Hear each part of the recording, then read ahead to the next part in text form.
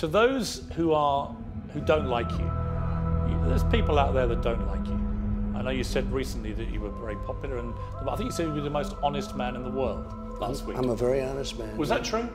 Yeah, I think I'm a very honest man. That's But to those who don't like you, much more honest than you, actually. really? Yeah. I'm pretty because- honest. Because I don't think you're real. Really? But yeah, I think I'm a much more honest person in most ways, in most respects. Why am I not real? But we're not going to get into that. Let's finish up the interview. Go ahead.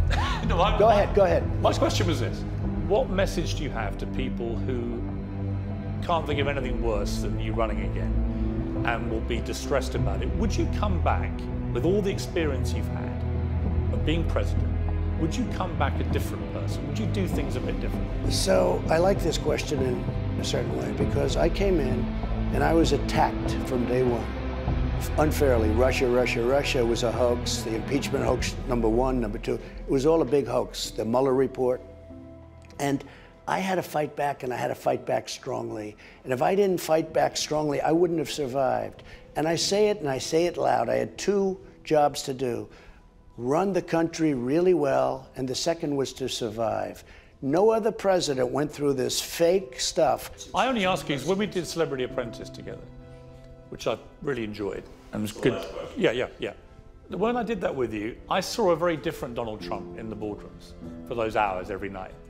You were, you know, you weren't as aggressive and confrontational. Except I wasn't under siege with what I phony, with phony Russia, I- Russia I understand. hunts. And by the way, I agree I with you. wasn't- But the Russia collusion thing was ridiculous. No, no, and many others. Right. But my point is, if you got a chance again, would we see more of that Donald Trump? Do you think? Uh, depends on how you're greeted. But if you're greeted unfairly, you have to be tough and you have to fight. Uh, I would like that. I would much prefer that. But it depends on how you're greeted. But I would do, and I say this our country's in trouble. Something has to happen. And if it doesn't happen, and if we don't have smart leadership, you're going to end up with no world. The world is going to be blown to pieces. We have stupid people now running our country. The world is going to be blown to pieces.